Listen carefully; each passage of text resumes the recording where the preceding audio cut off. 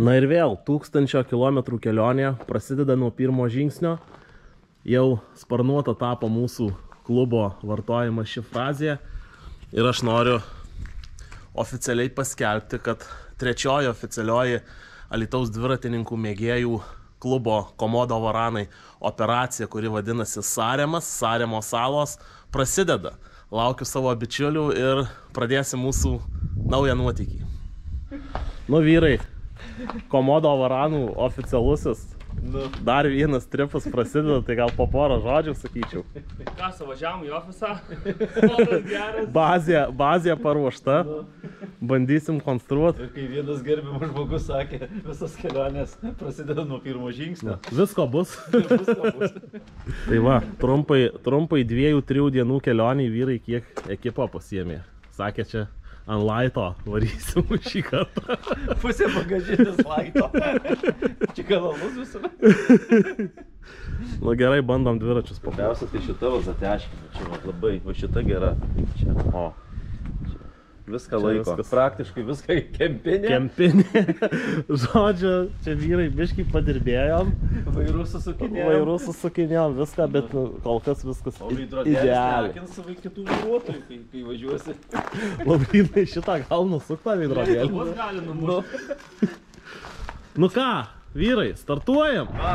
Nu ką, Na jaučiamės labai alkani. A, jau jėgų ne? pritrūkom jėgų, tai jau už pusvalandžio va jau staptelėjom. Zirklę. Liaukia tai. Dviratukai kol kas viskas gerai. Veikia. Čia, Atlikinėja darbą. Trosas labai įtemptas, gerai. nu, skanaus. Nu, labą dieną visiems. Vyrukai, vyrukai išsimiegojo, tik atvykom. Kaip čia vadinasi šitas miestelis? Vircu. Vircu. Vircu miestelis.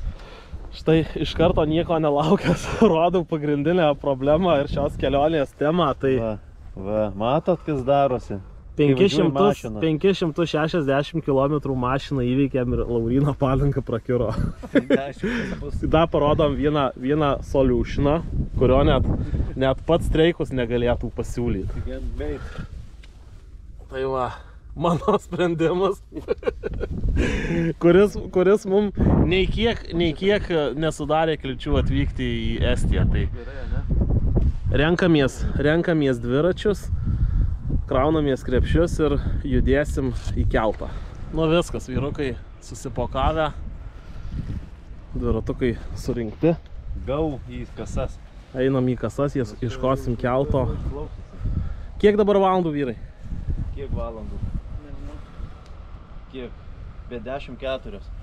Nu, vėlus startas, tai šiandien planuojam maksimum 100, minimum 90. Krausim F-kai, žodžiu, šiandien. Per Pl- pusdienį. Planas bent, bent vieną iš dienų į- įvažiuoti daugiau nei Evaldas įvažiavo. Įkraut, įkraut košės ant savo. Naujausia Komodo varanų inovacija. Tai kojelė, kurią kol kas turiu tik vienas. Bet visi labai kažkaip nori jos. Nu ir aišku veidrodukas, kad kelyje matytumėm visas kliūtis. Štai uostas. Laukiam kelto ir kelsimės į Sarimo salą. Va. Bičiulių dviratukai. Pilnai ekipuoti. Ką suvarėm? Jau suvarėm? Eik. Greitukai. Laurino naujos tašės iš antro karto įsigyto. Pirmą įspėjimą varanas, tai reikia, reikia, reikia viską jam patraukti dabar. Nors pravažiuoti tai ten galima 35 kartus. Matot, su, aš galiu bet kur pat. Nu tai jie sak...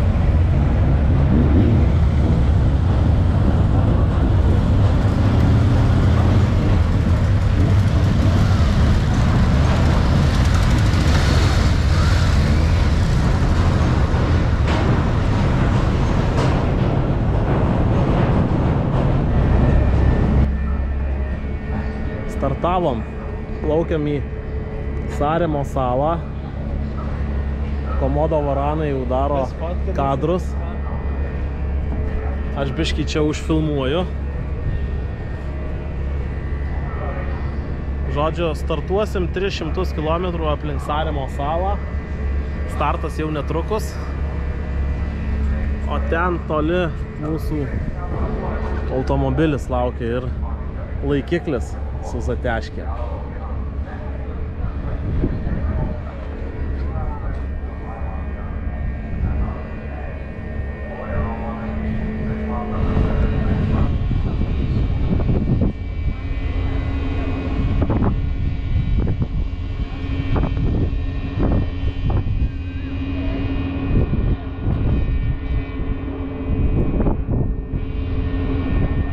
Trys taip išeina sukasi, ne?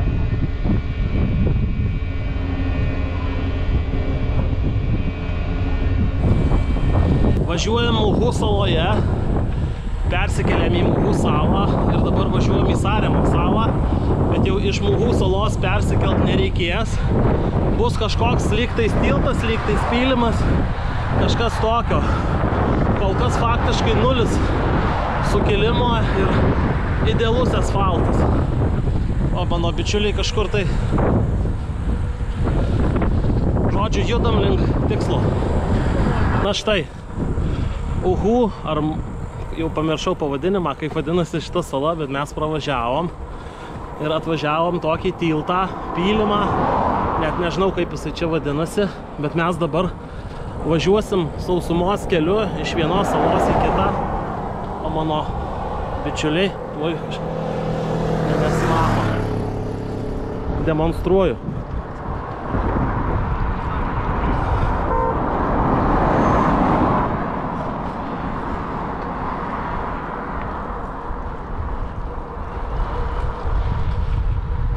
Kadangi pavojingas ruožas, tai pafilmuosiu, kaip pravažiuosiu.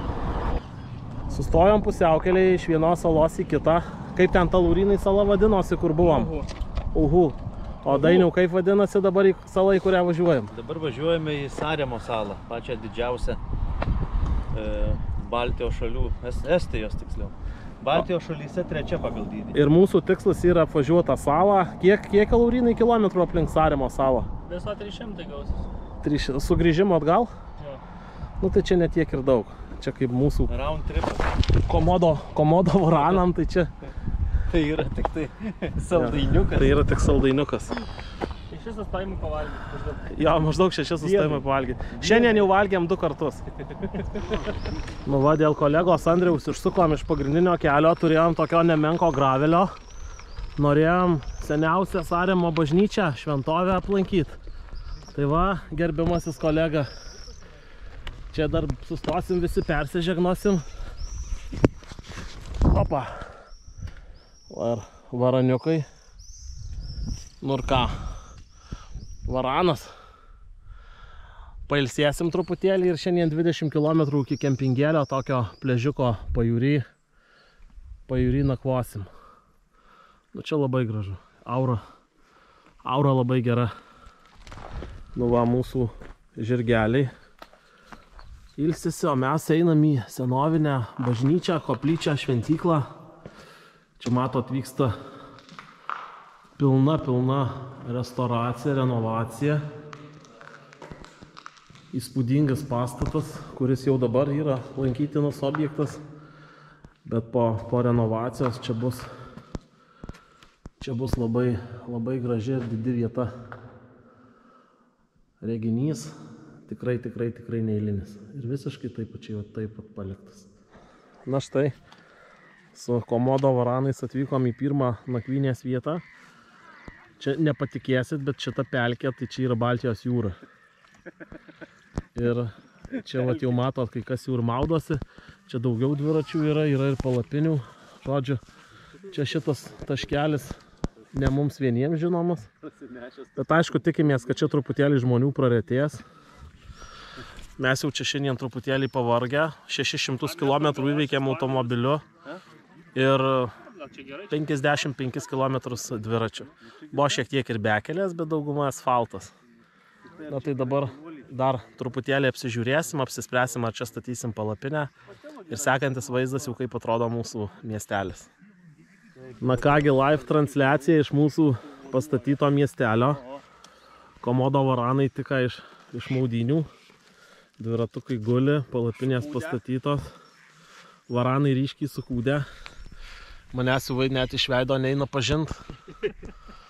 Žodžiu, uodai puola, skubam rengtis ilgom rankovėm ir, ir eisim ilsėtis.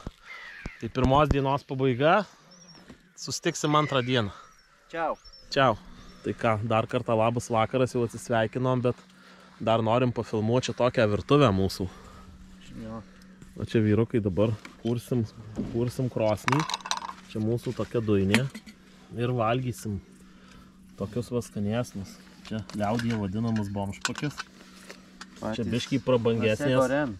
Nes jau čia, čia jau mano virtuvukė, drabnukės ir bukė. Lidlo, Lidlo pirkti įrankiai. Bliūdelis. Laurino vat naujas. Naujas įrankis. O, tai prabangus įrankiai, viską.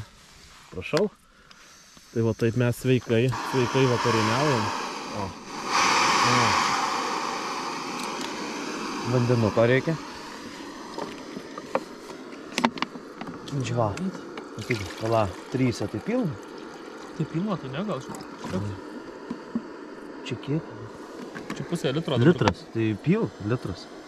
Ai, tu čia po 200 gramų mažina. Kaip žinai? Ir kiek čia, kiek čia laiko šitas užvirimas? Tai gal porą minučių kokią. Mane 200 gramų vandens. Viskas, laukiam. Kiek? 200. 200? Aha. Labas rytas. Gerbiamas Laurinai, tai kaip mes čia tavęs labai ilgai laukiam šiandien, bet Lapkės suraitytos. Nu va vyrukai susipokavę jau. Ne, labai nedžiuvo plapą. Dainiaus ant kojelės dviratukas pastatytas. Ant rankenos. Ant rankinio. Šią naktį, šią naktį vyrai gerai miegojo išskyrus mane. Šią naktį kodėl. labai sunkus man miegas buvo. Bet kažkaip tai pasiruošėm ir startuojam. Minam link e, šitos Saremo salos sostinės, dabar pavadinimo tiksliai neatsimenu. Sunku man su šitais estiškais pavadinimais ir vardais. Bet faktiškai labai keista. Sala kaip negyvenama. Nors sodybos visos sutvarkytos, viskas labai gražu, labai ramu. Važiuojam tokiu keliu. Mašina į pusę valandos kokia viena pravažiuoja. Faktiškai galima vidurių kelio visiems įsireikiavus važiuoti. Žodžiu, dviratininkų rojus. Reljefas faktiškai minusinis arba nulis arba vienas. Jokių įkalnių kol kas nėra. Tikrai minti, minti labai labai smagu. O, pradėjo filmuoti. Tai va mes e, Saremo salos vadinamoji sosti- sostinėje, vadinasi Kurasarė. Šiaip taip, jau čia šiek tiek žmonių yra, bet irgi labai mažai. Čia tikrai ne kurortinė vieta. Arba tiesiog žmonės čia jau ilsisi, poilsiauja kitaip, ramiai. Labai mažai žmonių. Bet čia aišku toks gražus mažiukas miestelis. Bet, bet šiaip susidaro toks įspūdis, kad, kad šita sala tokia, na, tokia skurdoka, paprasta, senovinė salelė. Ferrari nelaksto. Jo, važiuosim dabar ieškoti vietos, kur papietauti ir minsim toliau. Jau šiandien esame numynę 40 km. Štai atvažiavom į kažkokią pilį, Kurasaro miestelį. Čia toks vaizdelis gražesnis, tai rodom, aplankysim, pavaikščiosim. Dabar 11 valandų pas mus, po 11.20 lauksim 12, kol atsidarys maitinimo įstaigos.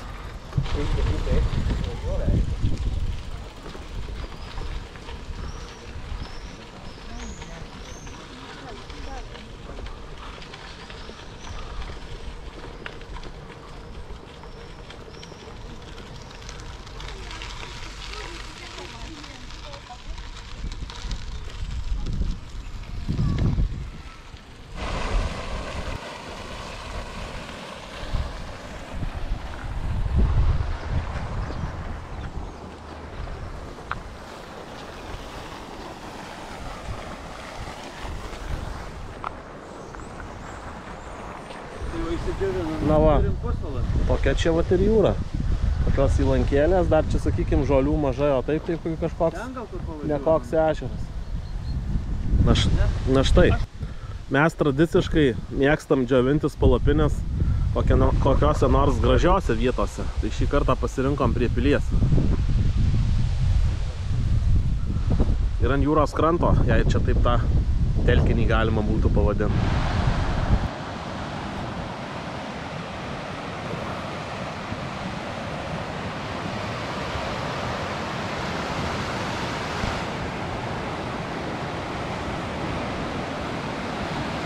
O štai kažkas, kažkas panašaus jau į jūrą. Pirmą kartą matom jūrą Baltijos, kuri mums ir primena Baltijos jūrą.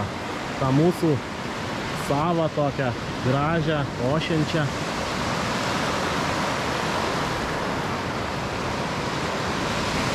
Tai va pagaliau jūra. Tinklas dar geras, gali. Važiuojam į kažkokį istorinį malūną. Lankom visus laikintinus objektus. Kas į papuolą? Domantui linkėjimai. Taip į pastabą atkreipėm dėmesį, nepravažiuom nei vienos bažnyčios, malūno, nei vienos stovyklavietės, monumentus visus aplankom. Atsižvelgiam į patarimus. Atsižvelgiam į ka- patarimus. Ką? Kavinės nei vienos nepravažiuoja. Kavinė? Be abejo, visas kavinės irgi aplankom. Tai mes ir tobulėjom. Mes tai Kiek čia dar liko iki to malūno? Kilometras, gal už kilometrą rodo 10, gal jis tai išgreičiau. Va. Atvažiavom prie objekto, laukuose malūnas senovinis. Čia nemažai Saremo saloj tų malūnų. Dviratukai sustatyti. Nu ir va mes, gražuoliai, visi. Žodžiu, dabar važiuosim iki vieno miestelio, dar kokie 5 arba 10 km. Ten nusėsim kokį valandą ir šiandien dar mažiausiai 30 km važiuosim. Liko mint apie 25 km šiandien ir supratom, kad yra tik gravelinis kelias. Nėra jokio kito kelio. Tai čia tas gravelis dar toks pusėtinas, bet vietom prastokas. Bet faktas tas, kad jau čia baigėsi civilizacija, nėra, nėra absoliučiai jokių kavinių. Tai radom kaimo parduotuvėlę, apsiprekinom vakarui, rytui ir važiuojam į nakvynės vietą Jie kažkas reguliuoja kažką. 20-25 km kažkur tai. Čia dar va kažkas reguliuoja. Ir važiuosim turbūt, kad graveliu visą laiką. Tai nieko gero čia į dienos pabaigą. Pakliuvom į kažkokią miestelio kaimelio šventę. Čia biški ir žmonių yra. Dar tiek žmonių iš to siloje vienoje vietoje nematėm. Čia šiaip jūra irgi. Nepanašu, bet tehnoloogiad on erinevaid, aga čia jūra. veega kokkupuutel automaatselt. osad nagu meie vestid on manuaalsed. antrosios dienos pabaiga. Mes prie jūros ir e, tik nusimaudėm. Krantas, krantas labai akmenuotas, kaip matot. Tai maudytis buvo iššūkis, bet vanduo šiltas, labai geras. Mums labai reikėjo atsigaivinti. Ir štai mūsų stovyklavietė. Tiesiog nuostabi ant jūros kranto. Jis visiškai nemokama. Matot, yra malkų. Šiandien lauželį bandysim kurti pavėsinė, mūsų palapinės ir net yra toks vat žydinys, kepsninė ir taip mes leisim vakarą.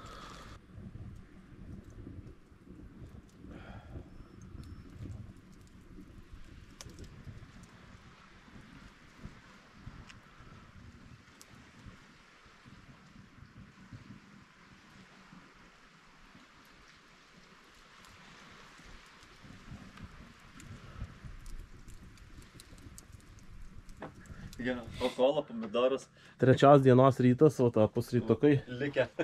likę startuosim. Pašalti nieko neliko. Šiandienos tikslas irgi nemažiau ambicingas. 120 kokią arba 130. Plius minus šviežiai atrodom, viskas gerai. Na va, atvykom į Pangą, viena lankomiausių Saremo salos vietų. Parodysim vaizdelių. Čia vat įdomus toks objektėlis. Nu, ir čia turbūt apžvalgos bokštas.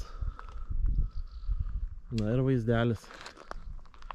Jūra rami, rami, aplinkui vien tik visokios įlankos, niekas neošia, bet šita vieta jau, jau tikrai labai graži. Tai va, pangos vaizdeliai, komodo varanai. Kaip jūs jaučiatės, gerbiami komodai? Labai gerai. Va, Galvojam, ką čia nuveikus šitame aukštį. uola. Ar dviratukų paimtume? Bėgėja ar ne? Vaizdeliai puikūs. Ir dviratininkai dar pakankamai švieži, bet jau tokie jau jau. Kadangi civilizacijos nedaug saloj, kavinių labai, labai mažai, nėra praktiškai, tai biški ir pinigų taupom. Ir va, Bet arbatą geriam pačią prabangiausią. jo, ir va mūsų, mūsų kokie pietus virtuvėlė. Dešrytės pasipjaustom sūrio kavos užsivirėm. Ir va tokioj va vietoj pietaujam.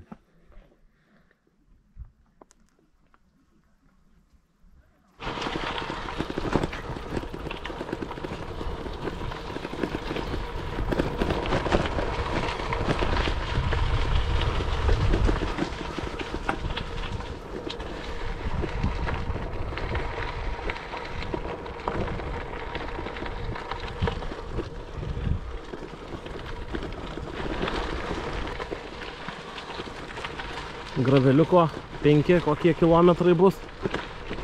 Ir va, rinkomės gravelį, kad varytumėm pajūriu.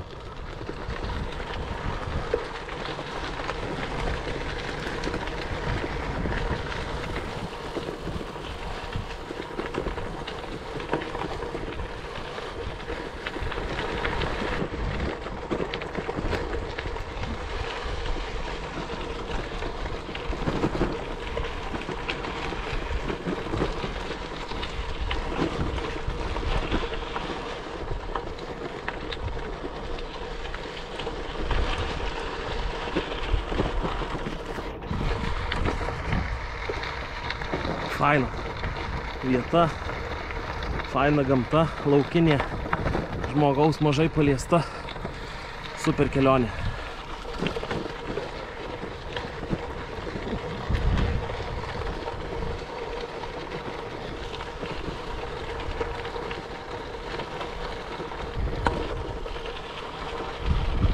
Netoli žvirkelis baigėsi, prasidėjo toks asfalčiukas, apleistos kažkokios fermos ir va, kažkokios pelkės, kelias, vėl pelkės ir važiuojam tokiam vandeningose vietovėse.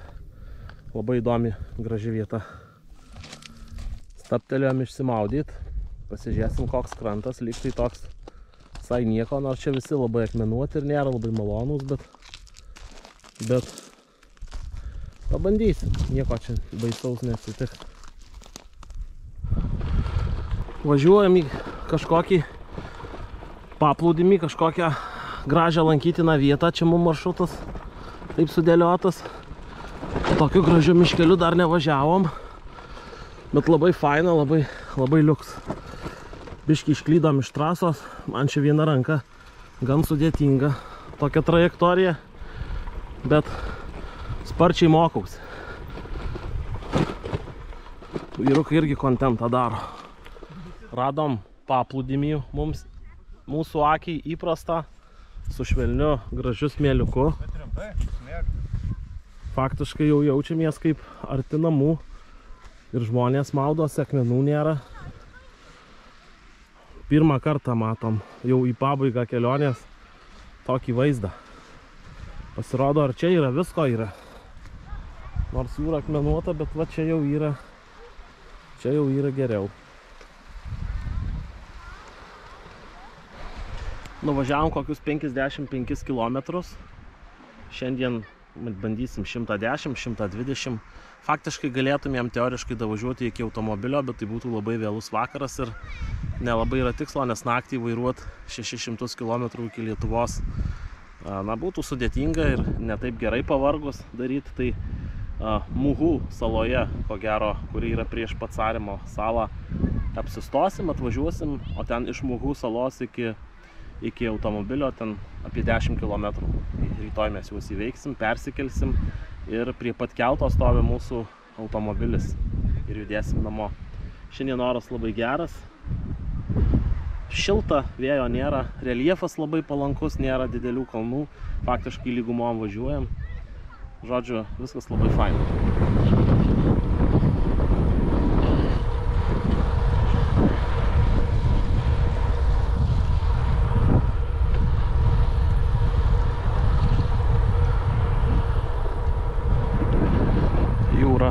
все.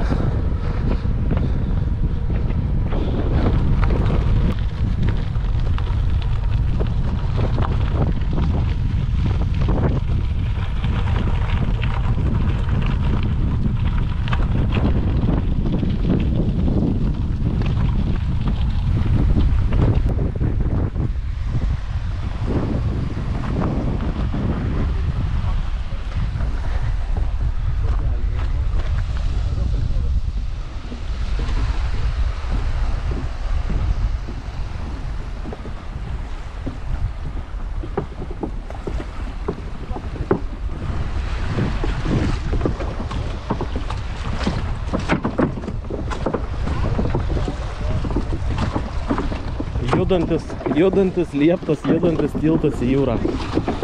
Jausmas labai įdomus. Atrodo, tuoj nusivers galima.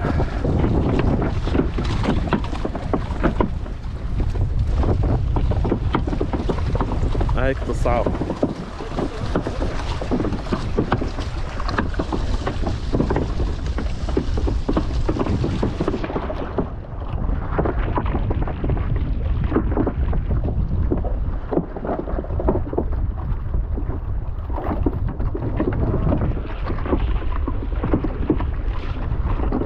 Viskas liepto galas, krutantis.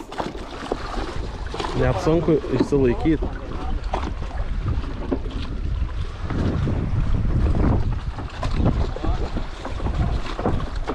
Nu, ta, nutraukiai? Jo. Aš visą kadrą. Ne, bet čia tai geras, čia viskas gal vyras kažkas nuo, bet čia tai gerai. Žiauriai įdomus dalykas, pirmą kartą šaltokį. Eik tu savo. Čia blaivumą patikrinti. Čia jeigu vėjas, tai... Žodžiu, mėto į šonus. Tai mes tik su šalmais, bet be gelbėjamos į liemenių, bet čia vaizdelis tai geras. Ulele, pukytė. Nu va, eilinis sustojimukas, pitstopėlis. Važiuojam pakrantę, mums faktiškai iki kelto liko apie 30 km, bet šiandien mes ko gero nesikelsim, per naktį, kaip jau minėjau, važiuoti bus labai sunku. Bet va, tai neskubėdami važiuojam, šiandien turėsim nakvynę, bet va, matot, kokios vietelės. Čia visą laiką pajūrį važiuojam. Nespėjau nufilmuoti, buvo vietų, kur pajūry, pačiam pačiam pajūry karvės ganos ir panašiai.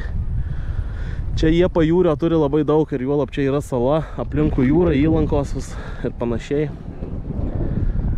Visiškai kardinaliai kitokia situacija negu Lietuvoje. Viskas.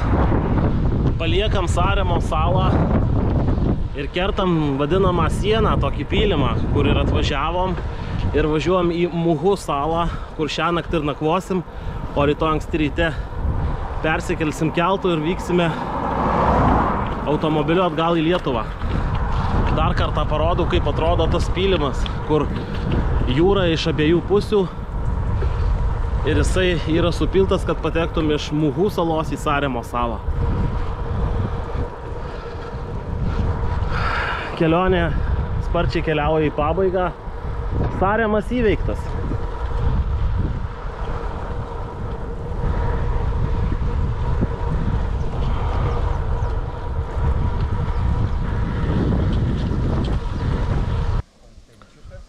Paskutinis rytelis, pats kol kas vėsiausias. O vyrai jau po pusryčių. Mūsų palapinių miestelės kokiose pievose. Nepatikėsit, bet už to keliuko ten tose pelkėse jūra, kurioje vakar maudėmės. Pakuojamės ir liko 18 km iki kelto ir namo. Perkam bilietus ir šausim į keltą. Netrukus kelsimės. Paskutiniai štrichai. Vat, dar pilnas, pilnas gravel pakas maisto yra. Tai einam dabar į kavinę kavokės nusipirksim. Biški užkasim prieš, prieš kelionę. Nu ir aišku, tradiciškai palapinės išrikiuotos ir džiūsta. Dviratukai laukia savo eilės, o mes einam, užbaigsim tripą su kava. Nu va, vyrukai, Kemšam. Kemšam paskutinis, paskutinis toks pasispardymas, likučius. Kava valdiška, bet maistas dar saremietiškas. Tai va, užkandam. Ir tada eisim iki galo, susidėsim dviračius ir važiuosim namo. Tai oficialiai galim teikti vyrai, kad nu ką, kelionė baigta. Kavytė.